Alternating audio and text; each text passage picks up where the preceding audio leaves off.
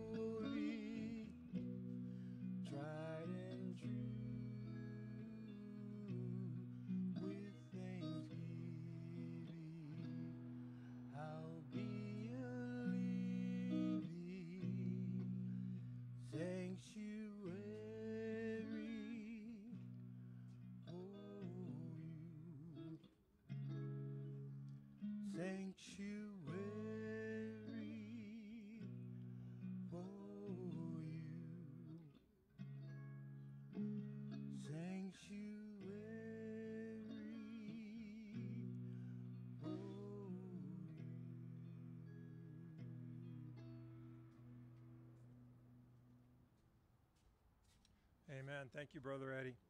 We want to go to the Lord in prayer at this time, and so would you bow your heads with me? Father in heaven, that is the cry of our hearts, and that you would make us your sanctuary. We pray that for each of us individually, and that you would dwell within our lives, dwell within our hearts, to where we are completely transformed by your presence through Christ Jesus. Uh, we pray that you would help us to live holy lives that are pure, that our motives would be your love.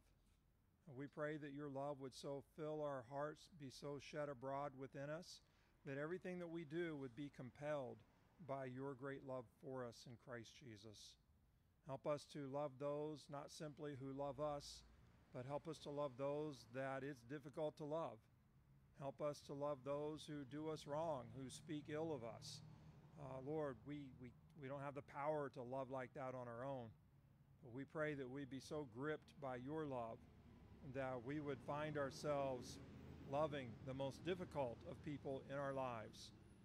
And we pray, Father, that you would help us to live truly surrendered to you as Jesus calls us to. That we would be so moved by your love for us in Christ that we would answer that call and that we would put following Jesus first and foremost in our lives. And that we would surrender dreams and ambitions, that we would surrender goals, that we would sur- surrender past hurts, that we would surrender failures, that we would just live utterly surrendered to you because of your great love for us. Lord, as we pray this for ourselves individually, We pray it for each other and we pray it for your church. Help us to be a people, Lord, that loves each other because we've been so loved by you. Help us to be a people, Lord, that, that lives with you first because of your great love. Again, Lord, we can't do this on our own, but through your Spirit, we can grow in our knowledge, our comprehension of your great love for us. And we just pray you would transform us so that we are especially identified as a loving people. Lord, we live in a world that is so desperate for love, uh, desperate beyond measure. And we pray, Lord, that as the world goes after so many things looking for love, that they would recognize just the faithfulness of you and your church, and that the world would see that if, if they want love, that you and your people are the place to come. We pray, Lord, that you would prepare us to be receptive, prepare us to be loving, help us to be able to speak, help us to be able to speak the truth in love, and we pray that you would be glorified. Pray this not only for us on this corner, but across the street, up the street, downtown, all parts of the globe. Lord, help us to be faithful to you. Help us to be a people that is compelled by your great love for us. In Jesus' name we pray. Amen. Well, it is great to have all of you here today and great to uh, have you watching online. I forgot to pray for Pastor D. Uh, Pastor D is up in San Bernardino preaching today at the Church of the Nazarene there. And so bow your heads once again. Father in heaven, we do ask you to be with Pastor D today and that you would strengthen him, empower him, embolden him uh, to proclaim the word that you have placed upon his heart today and give him traveling mercies. In Jesus' name we ask. Amen. Okay, well, I have a question for you. It's really kind of a two part question. And the question is this maybe it's not a question as much as a command.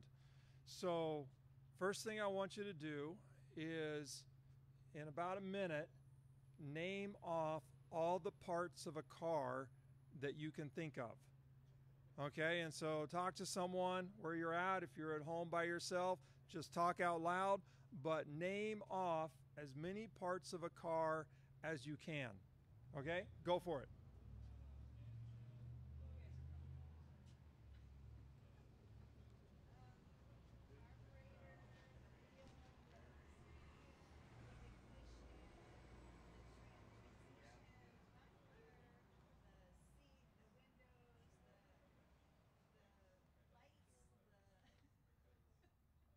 Okay, lest I be accused of asking a biased question, uh, part two name off the ingredients of a chocolate chip cookie.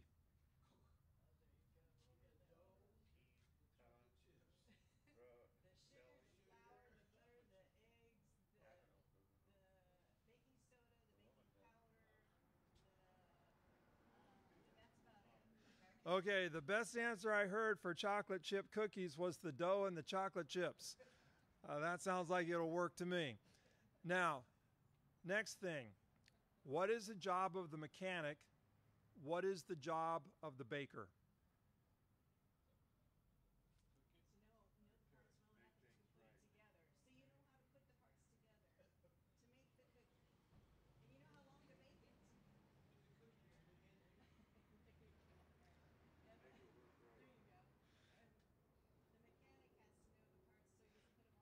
Okay, if, if only you were here to hear all of these good answers. Our passage this morning is found in Ephesians, Ephesians chapter 4, verses 7 through 16. Ephesians chapter 4, verses 7 through 16. This is, this is the Apostle Paul writing to the church or the house churches uh, in the city of Ephesus. So, Ephesians chapter 4, and starting at verse 7. But to each one of us, grace has been given as Christ apportioned it. This is why it says, When he ascended on high, he led captives in his train and gave gifts to men. What does he ascended mean except that he also descended to the lower earthly regions? He who descended is the very one who ascended higher than all the heavens in order to fill the whole universe. It was he who gave some to be apostles, some to be prophets, some to be evangelists, and some to be pastors and teachers, to prepare God's people for works of service, so that the body of Christ may be built up until we all reach unity in the faith and in the knowledge of the Son of God and become mature, attaining to the whole measure of the fullness of Christ. Then we will no longer be infants tossed back and forth by the waves and blown here and there by every wind of teaching and by the cunning and craftiness of men and their deceitful scheming. Instead, speaking the truth in love, we will in all things grow up into Him who is the head, that is, Christ. From Him, the whole body, joined and held together by every supporting ligament, grows and builds itself up in love as each part does its work. Let's pray. Father in heaven, thank you for the gift of your word this morning. Thank you for your presence with us, your ministry to us already. And we pray that as we turn our attention to your word, as we come before you, that you would speak afresh to us and give us ears to hear you, hearts to be open and receptive to you, minds to be willing and obedient to you. We pray, Father, that you would have your way in our midst. In Jesus' name we ask, amen. So let me just remind you quickly of the Ephesus context. We know that Paul started this church, and we read about this in Acts chapter 19. And he was there for about three years, and then he moved on. And it's been seven years since he was at this church. And where he's at now is in Rome under house arrest. And he's been in prison, one form or another, for the past few years. And so he writes this letter from Rome under house arrest, and he's very concerned about the churches in Ephesus. Some of the people there know him, some of the people there have only heard about him. But he still feels this kind of pastoral responsibility for how they are doing. And so he writes to encourage them, he writes to strengthen them, he writes to help them grow and to become who God saved them to be, who God created them to be. Now, the people living in Ephesus, they have a lot of what? Cultural stuff to deal with. And so Ephesus was a city where magic was practiced. And so most of the people in the church at some point they had they had been involved in magic at some level. It was just what was in the air. It was the culture of Ephesus. And the beliefs were that you had all of these various spiritual powers that were out there, and you needed to use magic to control them and to try to make sure that you could manage life well, manage these powers well, or they would do you in. It was also the city where the temple to Artemis was. And this was a magnificent temple, one of the seven wonders of the ancient world. And Artemis was this god that was seen as being super powerful and would watch over your life, bless you with fertility, provide for you, but you had to make sure that you honored her and that you worshiped her. And so it was, it was common practice for the households in Ephesus to have a shrine within their own home to the goddess Artemis. She was so important to that culture, to those people. And then the, the third thing that they dealt with was worship of the emperor. That the Roman emperor had authority over the territory of Ephesus, and the Roman emperor was seen as kind of the lord of history and the one who was bringing history into this golden age. And so you would, you would worship the emperor, you would worship Artemis, you would practice magic to try to control the spirits and the powers that are out there. You had to keep all these quote unquote deities happy and pleased with you, or they would undo your life and everything would unravel. And you can just imagine some of the fear that people would live in. And into this culture, Paul came announcing the good news of Jesus Christ that Christ is, is, was given to us by God, died for our sins, we were reconciled, and was raised from the grave. And in Christ, we have victory. In Christ, we have victory, liberation from the power of sin. That in Christ, we have the hope of the resurrection, that we don't need to fear death, that Christ reigns supreme over every power. And so you don't need to worry about controlling the powers. Christ has all that. That all we need to do is grow in our relationship with Christ, and Christ will take care of the rest. Doesn't mean there won't be challenges, doesn't mean there won't be trouble, doesn't mean there won't be things that go wrong, uh, that are difficult to deal with, but Christ has it. That He's got all power and He's loving, and God is at work in and through Christ on our behalf. And so Paul writes to strengthen them in this. And so he, he writes this, and one of the metaphors that he has used, which is very fitting and also very fascinating, is that he has compared the church to a temple. And in fact, it's a growing temple. And he's kind of mixed two metaphors together because buildings don't grow. Okay, you build your building and maybe you do a, an add on or something, and in that sense it grows. But he uses the word growing like you would use of a person who is growing, of a child who is growing. My, how you've grown. Okay, and of someone who's maturing, not just in age, but also in character. And so, so he, he mixes these two metaphors together of building a temple and a growing person. And so you have this kind of growing body of people that are God's building project right there in Ephesus. You have a worship center for the emperor. You have a huge temple to Artemis.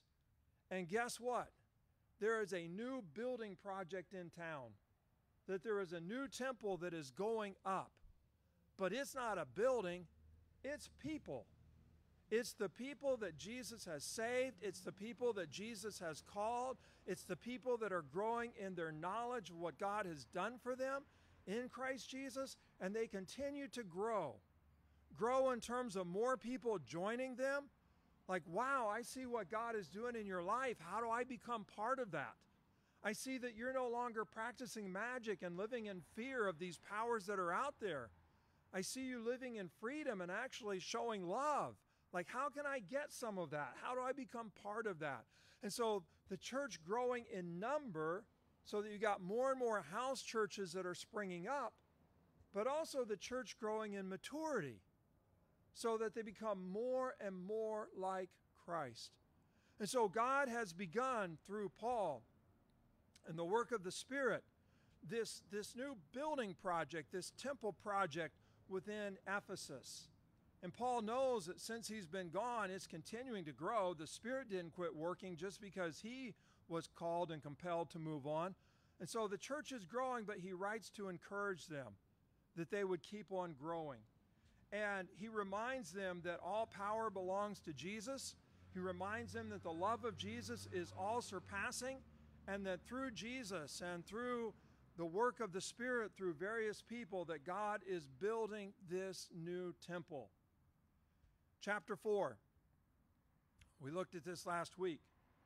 He calls for them to live a life worthy of this calling, to walk a life worthy of this calling.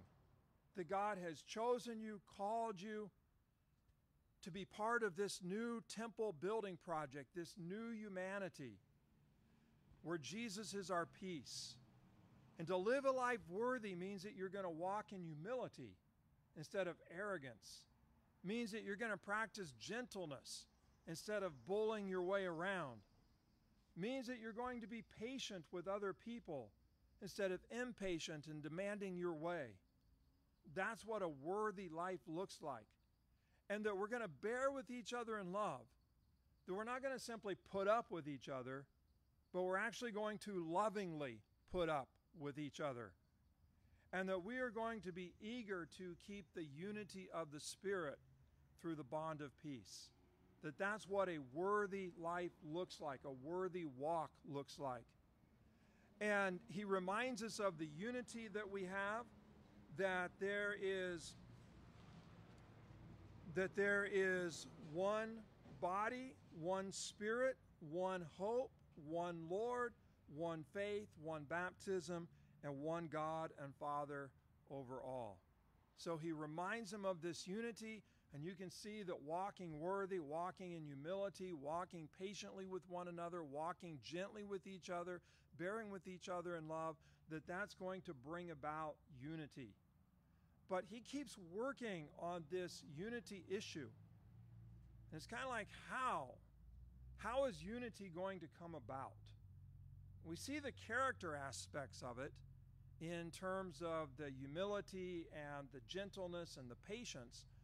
But what else is involved in terms of becoming a people that is unified, a people that is one, a people that is mature in Christ? And so he goes on to answer that in our in our passage today. So look at verse 7. Might be the key verse to the whole thing. But to each one of us grace has been given as Christ apportioned it. And then look all the way down with me to verse 16. From him, Christ, the whole body, joined and held together by every supporting ligament, grows and builds itself up in love as each part does its work. Okay, now did you see that? The beginning of verse 7 But to each one of us grace has been given as Christ apportioned it. And then you go down to the end of this section, verse 16, and the body, the church, builds itself up in love as each part does its work. Okay, so the, the first thing I want us to make sure that we pick up on is that Christ gave gifts as Christ saw fit to each and every believer. To each and every person that is a member of the church, that is a believer in Christ Jesus, God has given grace. And that grace isn't just so that you'll get to heaven. That grace isn't just so that you know that you're forgiven. That grace isn't just so that you can be victorious over sinful habits.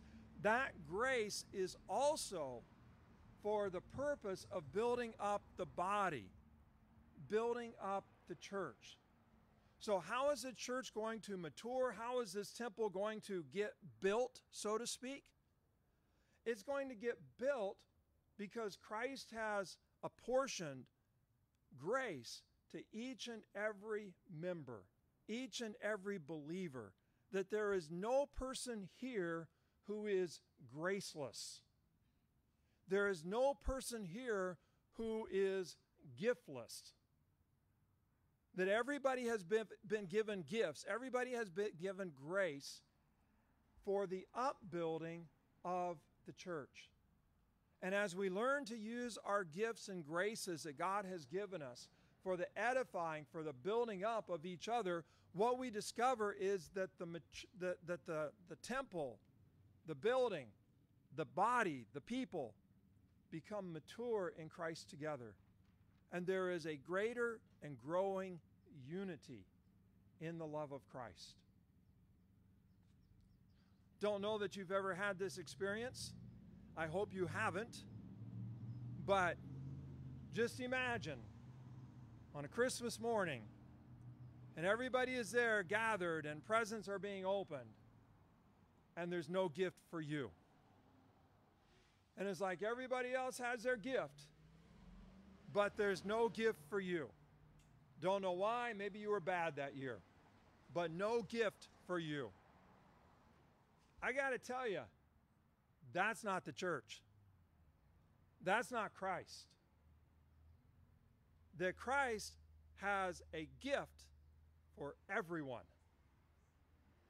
And it's not just a gift for you so that you can go off in the corner and play with your gift while everybody else is out playing with their gifts.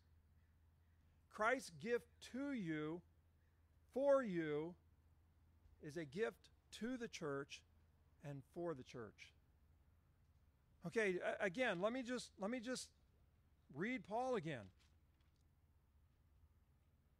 But to each one of us grace has been given as Christ apportioned it. To each and every believer, Christ has given grace, He's given gifts, and the purpose of those gifts is for the upbuilding of the church, upbuilding of this new temple project, upbuilding of this new body of people in Christ Jesus.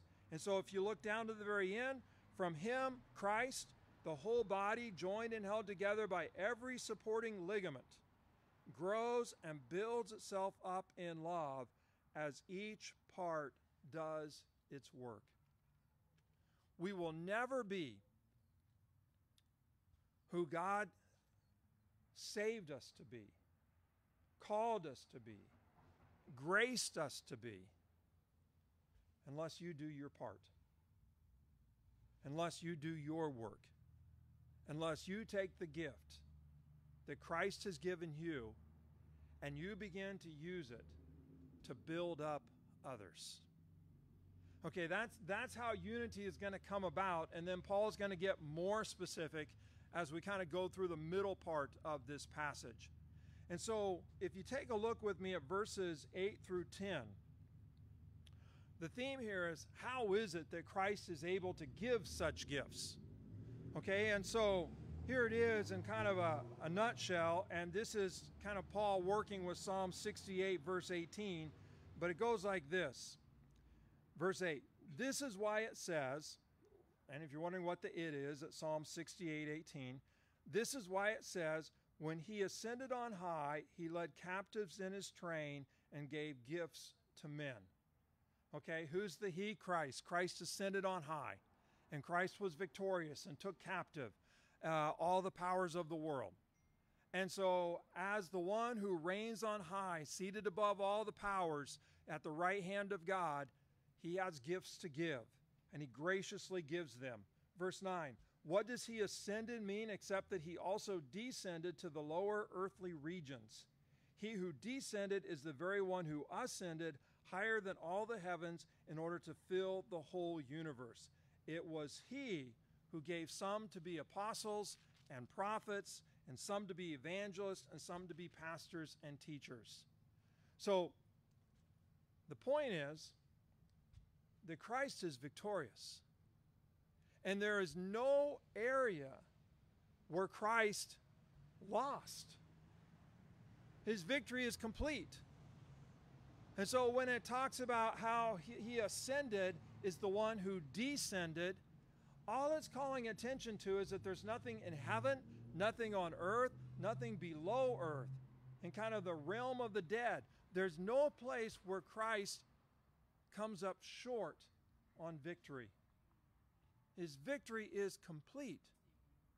Okay, and that's why Paul says in his letter to the church at Philippi that every knee shall bow and every tongue confess in heaven and on earth and under the earth that Christ is Lord, that Christ reigns.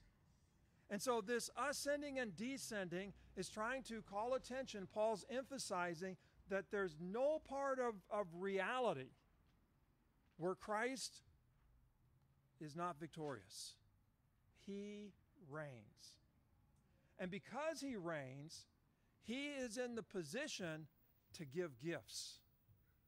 And so he graciously starts giving gifts to his people so that we can be this temple, we can be this new humanity, this building project that demonstrates the true and the full victory of Christ Jesus.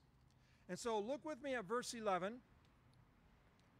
And here Paul singles out five groups, if you will, of, of giftedness or five areas, five ways in which Christ gifted people, or you might even say five offices. Okay, so five offices where Christ has gifted people for particular work. Now, what are they? It was Christ who gave some to be apostles, some to be prophets, some to be evangelists, and some to be pastors and teachers. And who is he giving these to? He's giving them to the church. Okay, so I got to get this really clear. The gift, how should I say it? Okay, so so he gives the gift of apostleship, but then what Christ does is he gives the apostles to the church. Okay, with me on that? He gives the gift of prophecy, but he gives the prophets to the church. He gives the gift of evangelism to people, but then he gives the evangelist to the church. He gives the gift of pastoring to people, of shepherding to people, to particular people, but then he gives those people, those pastors, to the church. He gives the gift of teaching to people, and then he gives those teachers to the church so that the church can be built up. So, what Paul's thinking about here is not simply that some people have the gift of evangelism, some people have the gift of teaching, some people have the gift of pastoring, some people have the gift of prophecy. No, what he's getting at here is not simply that people have these gifts, but that these people with these gifts are actually given to the church. Okay, are, are you with me? Are you tracking with me? So, for example, Pastor D is gifted and we see his giftedness in terms of his ability to teach, his ability to preach, his ability to shepherd people, to care for people. So we see that, that Pastor D is a gift from Christ to us. It's not simply that Pastor D is gifted, rather, we're gifted with Pastor D. Okay, are, are you tracking with me? We don't normally take that second step then normally we think, oh, that person is really gifted. Oh, that person is really blessed. Like God has really given them a gift for the word, or God has really given them a gift to pray over people and to prophesy and to speak a word into their life. And, and we think about how people are gifted, but do you realize that God gifts these people and then gives them to the church? So we have been gifted, we have been graced with Pastor D. He is a gift to us from Christ. Today, today, Christ decided to give Pastor D to the church up in San Bernardino for a morning and for next Sunday morning as well. So, they're Christ's gifts to give to the church as Christ sees fit, as Christ measures out. And so we're experiencing that today in terms of, well, Christ decided that today, this Sunday, going to give Pastor D as a gift to the San Bernardino First Church of the Nazarene. But just for the morning. I want him back. Okay, but but just realize that that's kind of how Paul's thinking here. That not simply that people have different gifts, but that God gives people these gifts, he gifts them and then gives them to the church body and they have a role to play in the church body exercising those gifts. Now, we got five named off here. We have apostles, we have prophets, we have evangelists, pastors, and teachers. Now, probably, as Paul is using the word apostles here, kind of a technical term for those who for those who were in contact in some kind of way with with Jesus I mean, how shall I say it? The historical Jesus? Okay, that they saw Jesus in the flesh. Let me put it that way. Okay, so we're talking about guys like Peter and John, uh, James, not just James the disciple, but James the brother of Jesus, eyewitness. Paul counts himself as the least of the apostles because his encounter with Jesus was rather brief. It was the resurrected Jesus that met him on the Damascus Road. So he didn't have as much quote unquote face time with Jesus as the others. And so he considered himself the least. But apostles is probably kind of a technical category here of those who had face time with Jesus in the flesh. And Paul says this is really a special privilege. Okay, it's a gift, but it's not so that you can brag about it. Rather, Christ then gives you to the church. And you have a role to play in terms of bearing witness to Jesus, to his ministry, to his death, to his resurrection. So, in a, in a looser way, less technical sense, apostle basically means someone who is sent, kind of like an ambassador, someone that is sent to represent someone else. But in this technical sense, you're sent directly by Jesus. That you had a face to face face to face with Jesus and Jesus is sending you. So the apostles, that's why he always lists them first. Now prophets, prophets what he's talking about here, not your Old Testament prophets, but he's talking about people that have been gifted by Christ with the Holy Spirit to be able to to be able to speak into people's lives. And they might do this individually to where Christ has given them a word, you know, for this person and for this person, for this brother, for this sister. And, and some of you have experienced that in terms of being the prophet, where God has given you a word for somebody going through a particular crisis, and it's like God just gave it to you. And you speak it, and it's like a word of life for them. And some of you have received those kind of words for, from people to where God gave somebody a word for you. And they spoke that word over you and into your life, and all of a sudden it was like this life giving word. And so, so there are those who have the gift of prophecy, prophets, and they're going to be able to kind of speak God's will into and over your life, and individually and collectively. So a prophet might have a word for a congregation, a word for a people. And that word moves the church, and God uses that word to grow the church, to set the church on course. And sometimes these words might break and before they actually build up. We see that all through the Old Testament prophets. So we got the apostles who have had face to face time with Jesus, and now they're commissioned to go and announce the good news of, of the death and resurrection of Jesus.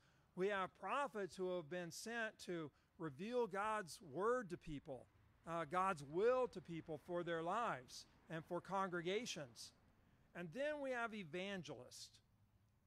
And evangelists kind of continue, if you will, the work of the apostles in terms of typically going, but they didn't have the face to face with Jesus. Um, that's just the apostles. But the evangelists are, are sent with good news. And they typically travel so that they might be in this town or this location for a while, and they have this ability to share the good news about Jesus. And it might be that they go from person to person. Maybe it's not so much geographical traveling as it is kind of going from person to person. And so they'll talk to these people at work and these people at work. Somebody new moves into the neighborhood. The evangelist is going to meet them. So the evangelist is always going to somebody with good news. Okay, and again, I, I, I got to emphasize this. The evangelist is not constantly, quote unquote, soul winning so that the evangelist can kind of show a scorecard like, this is how many people I won to Christ. How about you? Okay, that would be totally self focused. Okay, the evangelist is someone who has been given to the church for the upbuilding of the church. So the evangelist doesn't go door to door or go uh, country to country trying to quote unquote win people. So look what I've done. No, it's all in service to the church so that the church can grow, so that the body of Christ can grow and become more mature and more complete. And so the church has been given apostles, has been given prophets, has been given evangelists, and now pastors and teachers. And the idea behind a pastor is one who is a shepherd. And so that means they're going to be providing leadership and care for people, just as a shepherd does for sheep. And, and sometimes shepherd was even used of, of political leaders, government leaders, that the leader is not simply to use that power for themselves, the leader is to use that power and care of the flock, all those that are under their leadership. And so Paul's saying some have been given this gift of pastoring, and those pastors are given to congregations to shepherd them, to care for them. And so that the pastors are gifts to the churches. One of our former district superintendents, John Denny, he loved this passage. And he'd always emphasize that pastors are gifts to their church.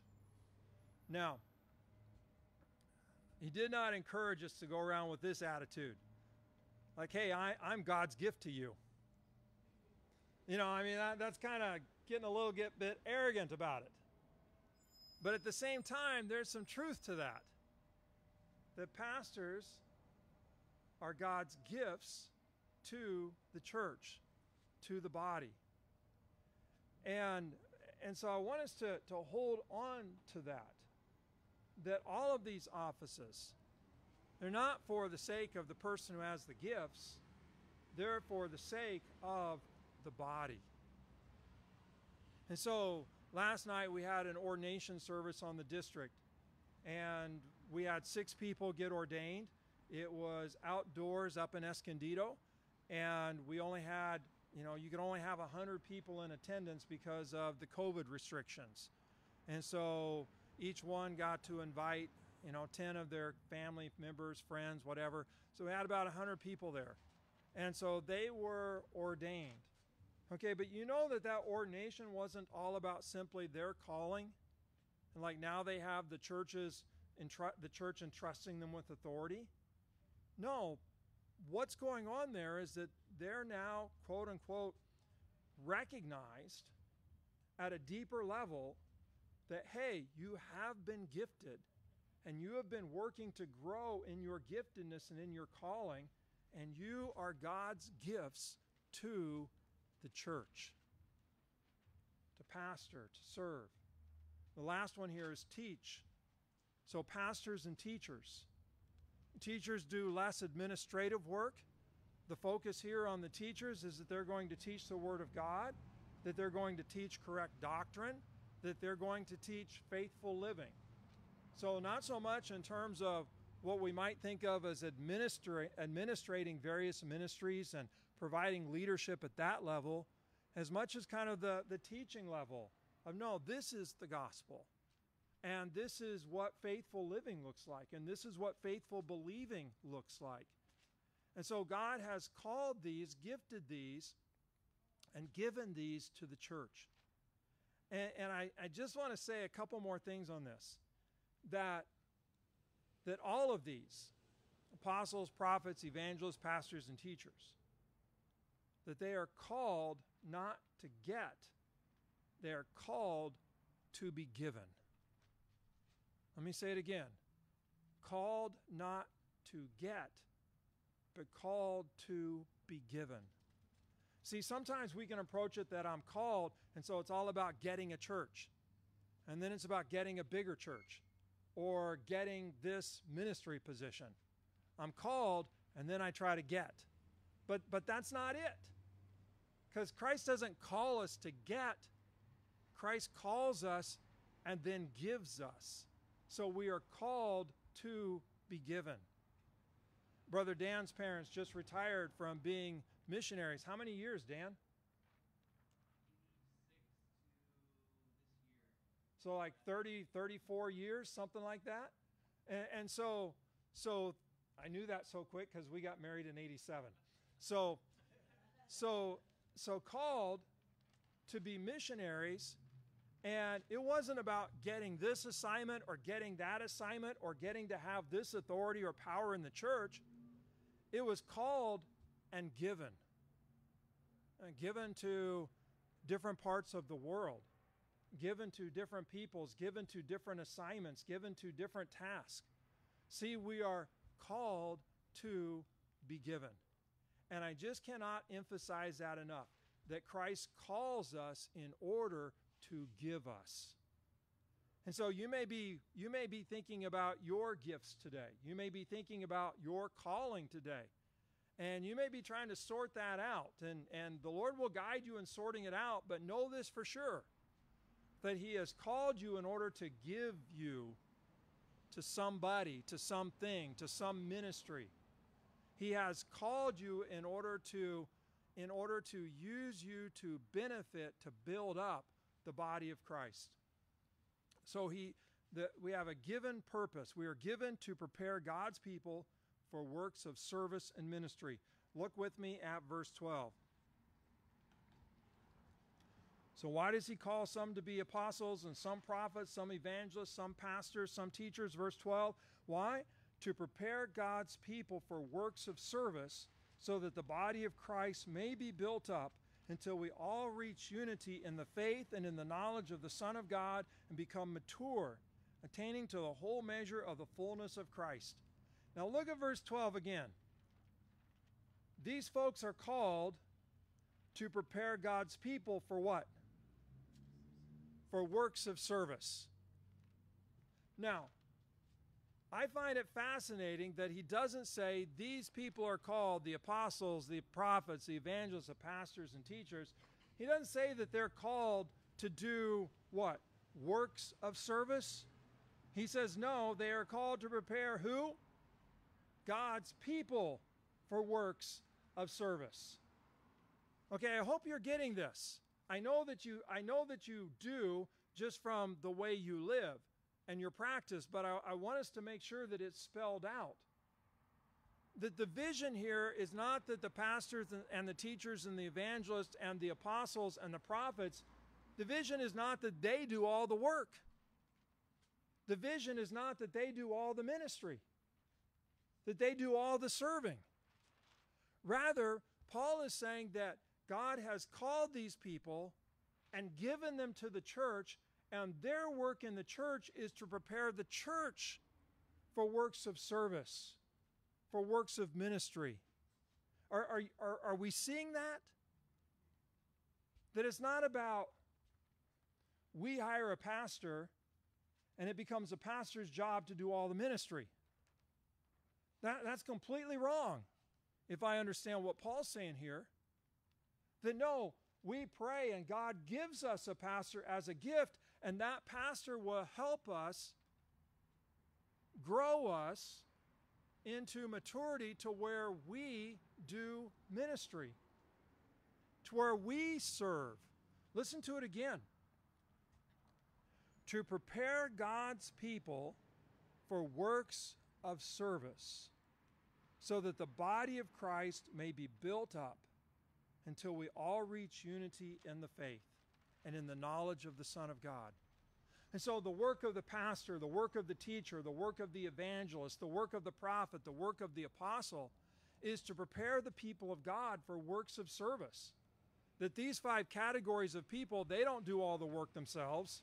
These five offices, they don't do all the ministry. Rather, they prepare the people of the church to do works of ministry, to do works of service. And then, as they do those works of service, what's the goal? So that the body of Christ may be built up. Not so that I become popular, not so that everybody recognizes how, how gifted I am, not so that I become the most important and influential person in the church. No, it's so that through me doing the services that I've been prepared to do, now the body is growing and becoming healthier. Whether that means expanding with new people coming in, or whether that means going from immature Christians to mature Christians, to lives being transformed. And so, the, so that the body of Christ may be built up Verse 13, until we all reach unity in the faith and in the knowledge of the Son of God and become mature, attaining to the whole measure of the fullness of Christ. Wow. See, that's the goal. That I and Pastor D would be used of God to equip you for works of ministry.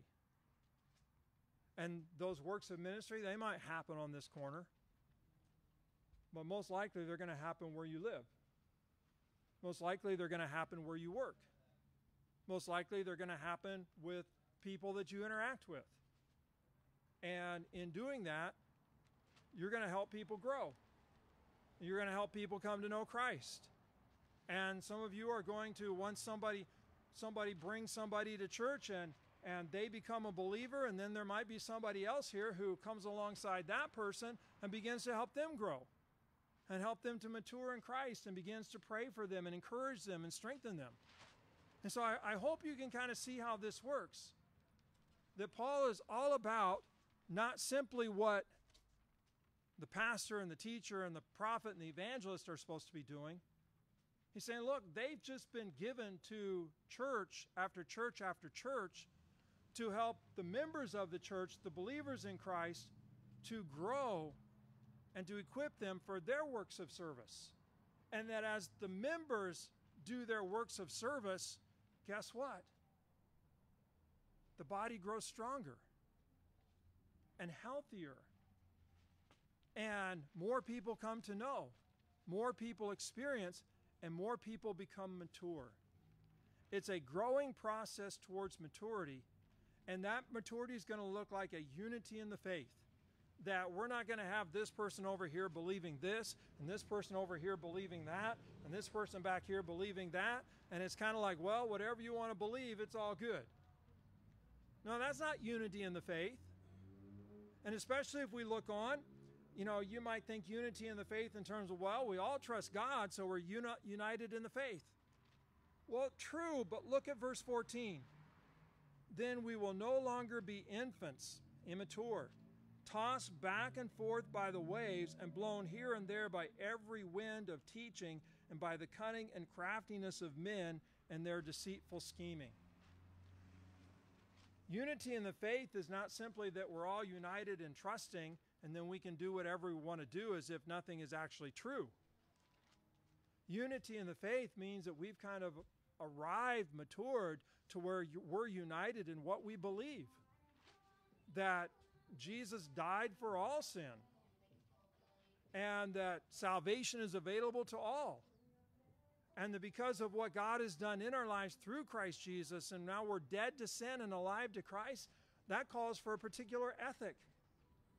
And so, all those who were ordained last night, part of what they had to agree to, they had to be united with the Church of the Nazarene in our doctrine and united with the Church of the Nazarene in our covenants of Christian character and Christian conduct.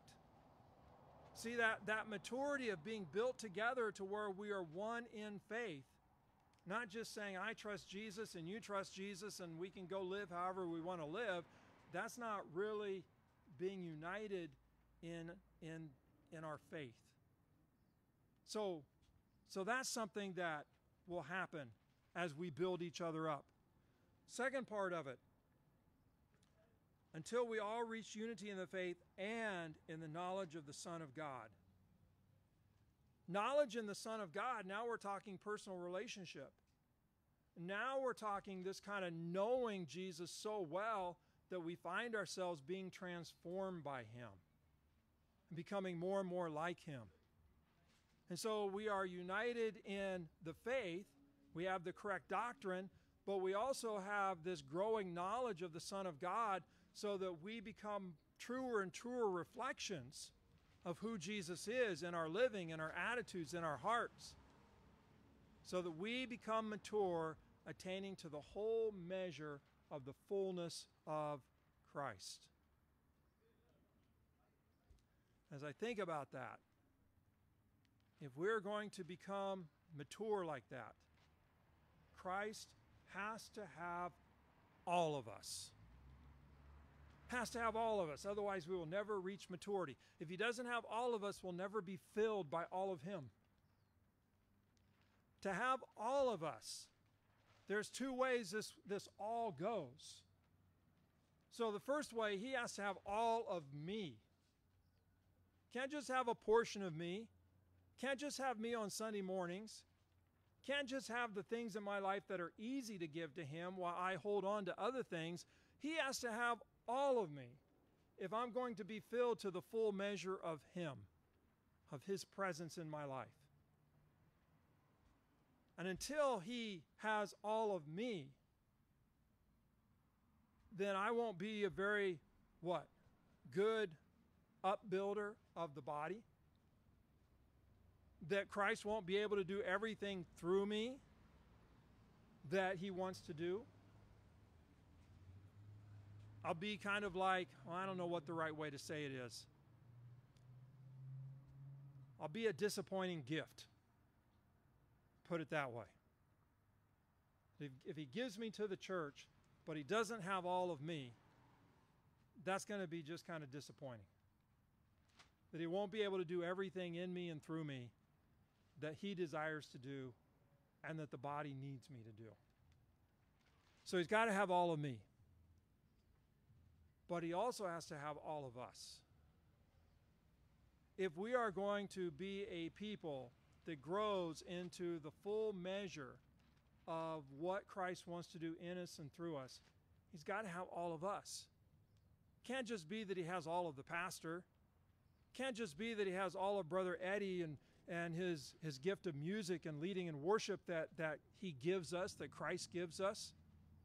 Got to have all of us, whatever our role here is.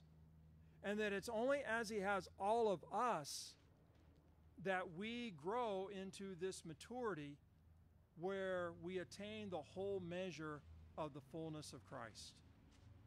And you can see verses 14 through 17 the contrast. We will no longer be infants. Infants, not in terms of innocency, but infants in terms of not being fully developed. Infants in terms of kind of immaturity. Then we will no longer be infants tossed back and forth by the waves and blown here and there by every wind of teaching and by the cunning and craftiness of men in their deceitful scheming. Instead of being infants, we will speak the truth in love. We will in all things grow up into Him who is the head, that is Christ. For from Him the whole body, joined and held together by every supporting ligament, grows and builds itself up in love as each part does its work. Speaking the truth in love. We do this to build each other up. So you can speak truth, but if there's no love in that truth, that truth is just going to tear down. That truth is just going to discourage. That truth is just going to break people, cause people to get defensive, cause people to get bitter. If you just speak the truth, but you got no love, you may have some really powerful things to say, but most likely you're just going to drive people away and tear them down. And some people so react against speaking the truth in love or speaking truth that they just want to speak love. But it's really not a good definition of love because never confront you on anything. Just kind of lovingly affirm you in everything that you're doing, everything that you're believing, whether it's true or not, everything that you're doing, whether it's healthy or not, whether it's building the church up or not uh, we're gonna we're gonna be a loving people, and so we're just going to affirm you and affirm everything and affirm everybody. Okay, but but that's not really love. Okay, like if you got a neighbor and they're in their house and you see fire coming and smoke coming from out the back, but you know you don't want to make them feel bad, and so you just you know you got a really nice house. It's absolutely beautiful. Meanwhile, there's a fire that's burning. But you don't want to confront them on it because that's kind of insulting. Hey, something's wrong with your house. Well, who are you to say something's wrong with my house? Meanwhile, what's happening to the house? Burning down. Maybe what needed to happen was some truth spoken in the middle of that love. So that there's a lovingly concern. And see, if you really love, you're going to speak truth. But you're going to speak that truth out of a context, out of a heart of love and you're going to make sure that the relationship is st- so strong that people know that you love them and that you care for them and you're actually concerned for their well-being that you're not just trying to steamroll them with truth. Paul's saying this is how the church is going to grow how the church is going to get healthy. You might even put it this way that as we tenderly put up with each other and call each other out in love then we will begin to mature. Then we will grow. Then we will build each other up. And all of this is done under the lordship of Christ Jesus. So that when I speak the truth in love, I have to measure myself against that truth before I go speak it. And then when I speak the truth in love, I'm not about blasting somebody with truth. I'm about building somebody up in love. And that that truth is necessary if they're going to mature and truly be built up. And then I see that all of this impacts the whole body, impacts this new temple. From Him, Christ Jesus, the whole body, joined and held together by every supporting ligament, grows and builds itself up in love as each part does its work. I don't know about you, but that is a challenge. But by the grace, by the power of God, and by the gifting of Christ Jesus, gifting us to be given, it's going to happen. That we will be a temple, we will be the body of people in which Christ dwells.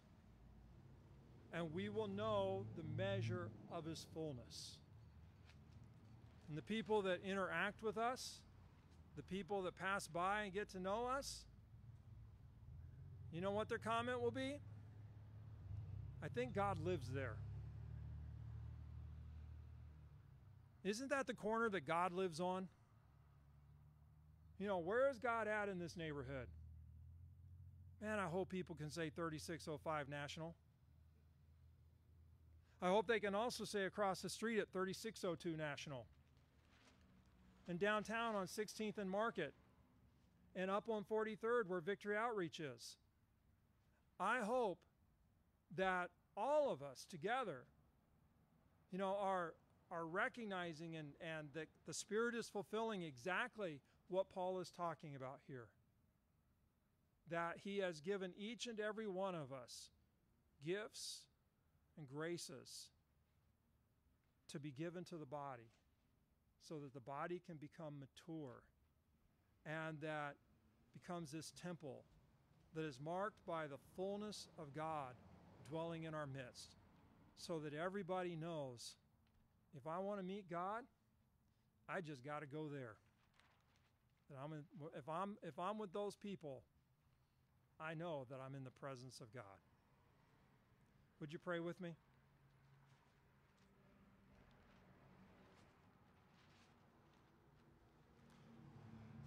Lord, help us.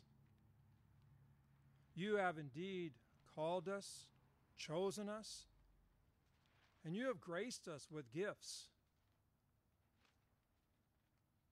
Sometimes we get stuck and we feel like everybody else has the gifts, but somehow we got overlooked and didn't get anything. Lord, would you open our eyes?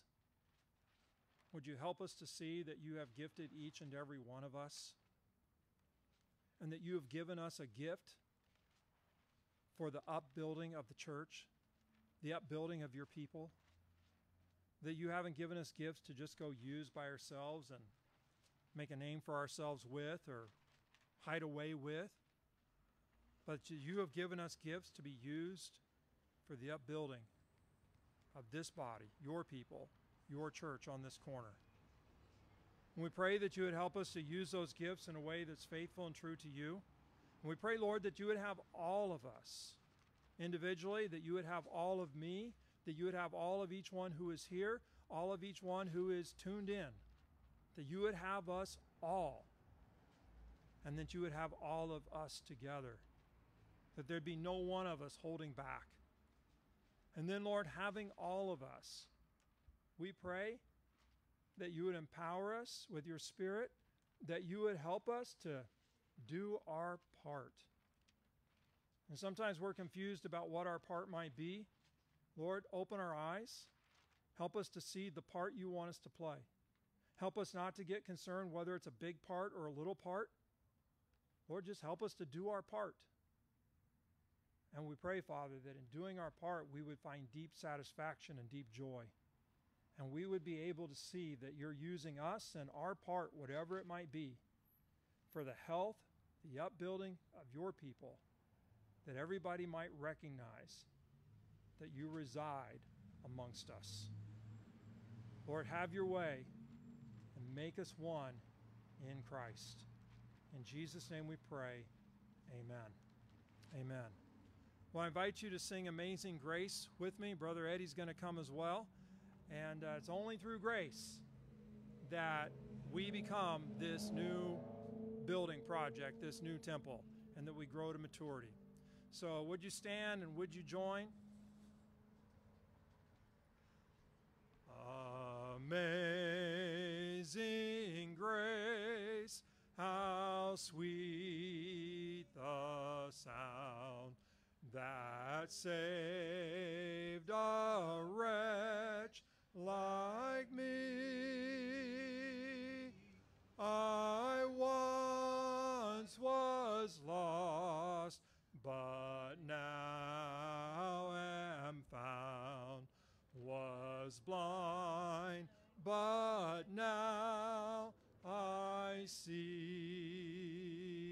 And now may the grace of our Lord and Savior Jesus Christ and the love of God our Father and the fellowship of the Holy Spirit go with you all. In Jesus' name we pray. Amen. Amen. Use your gift, give it well, and be built well. God bless.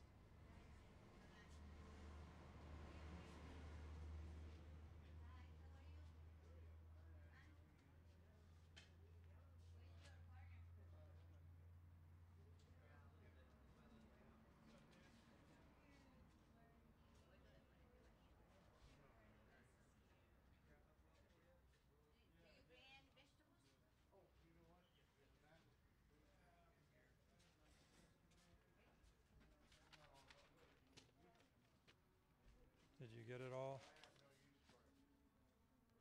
Is it still going?